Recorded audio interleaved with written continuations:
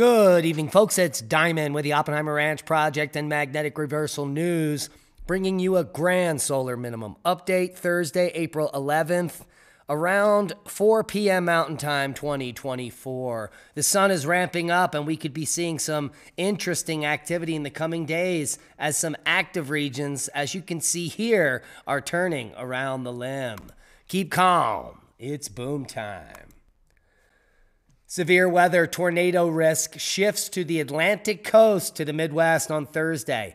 Close to 75 million people will be at risk for severe weather on Thursday from parts of the Midwest to large portions of the Atlantic seaboard. The threat includes the possibility of a few tornadoes as tornado damage is reported near St. Augustine. In Florida, severe weather threat is shifting east.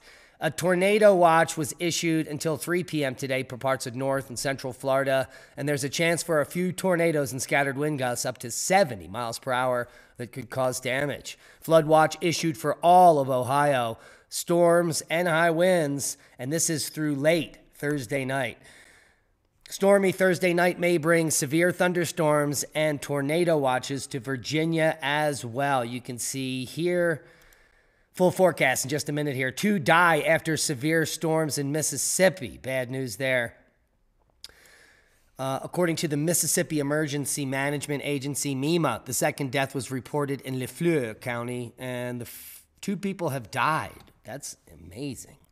They don't say why here.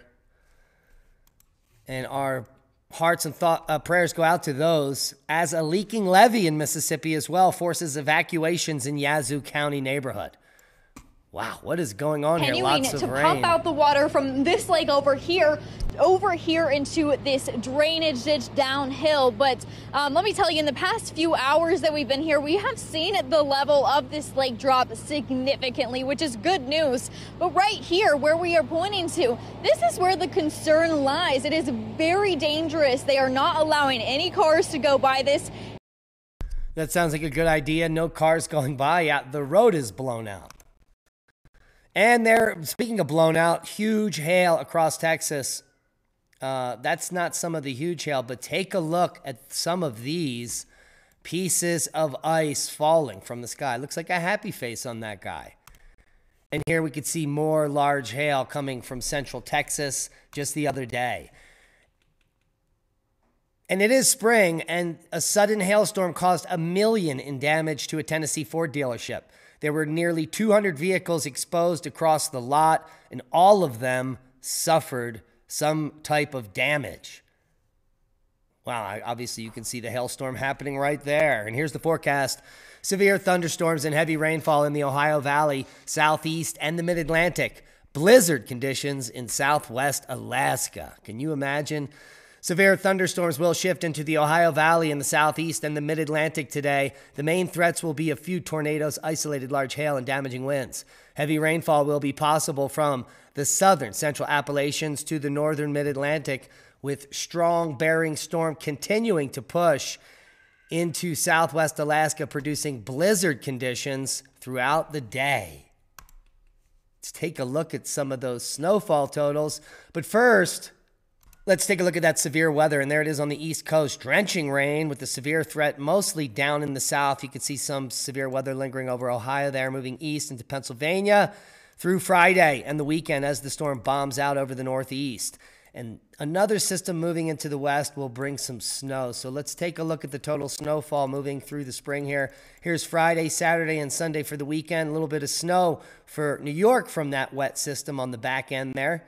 So you could see that as well as Vermont and New Hampshire as a system moves into California by Sunday. Here's Sunday, Monday, Tuesday. The system will now be in the Rockies, bringing snow to Colorado, heavy snow to some regions, multiple pulses here through next weekend.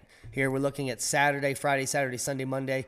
And so heavy snow still for the Rockies through the end of April. Looks like most of the snow in New England is over uh, unless we look at this end of the long term model there, but that would just be epic, wouldn't it? Seismic update. It is very quiet across the world. Take a look at that. Only one quake above 2.5 magnitude showing up, and it's a frac quake in Texas, the next of the Schmexes. Worldwide volcano news Etna, small explosion overnight. You can see the peak there. Marapi puffing and passing to 12,000.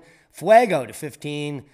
Uh, do we have Marapi here? Another 12,000 foot report today. Semeru to 15,000 feet. Reventador to 15,000 feet. Popo today to 19,000. Santiaguito to 13. Nevado de Ruiz puffing to 20,000 today. Ibu to 10,000. Fuego to 16. Dukono to 8.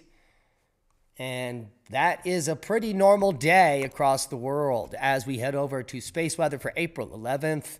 As you can see, an uptick in the X ray now in the C 5.5 range, coming after an impulsive M 5.4 on the limb. And the limb meaning this incoming active region here. Let's take a look at the latest HMI intensity, and you can see these two sunspot regions are now growing as they move across the disk. And we've got active sunspot region moving in here and another plage over here. Take a look at the coronal hole analysis. You can see those active regions turning around, and that means increased space weather over the coming days. So buckle up. Hopefully, we could get some aurora activity um, headed our way as solar activity increases. The three day geomagnetic forecast is all quiet across the Western Front. Bad news the rich are now getting second passports. So not only are they building bunkers, but they're getting passports to get out of Dodge, citing risk of instability. What does that mean? Well, Netanyahu is now hinting at retaliation if Iran attacks as CENTCOM chief lands in Israel, and it appears as if World War III has already begun. And that's a boom to knowledge. Please share this video as we are shadow banned. We need your help to grow. It's really good to be back. Rex Bear and I are back from our journey to Crow Canyon. Uh, and the, all of that amazing footage is going to take a while to edit. So hopefully tomorrow night we'll be able to put that up for you as we are going to be hosting an event there if you are adventurous and adventure minded in a very short time. So stay tuned for those announcements coming soon. Hit the thumbs up, it helps with the algorithm, and be safe. Anything is possible.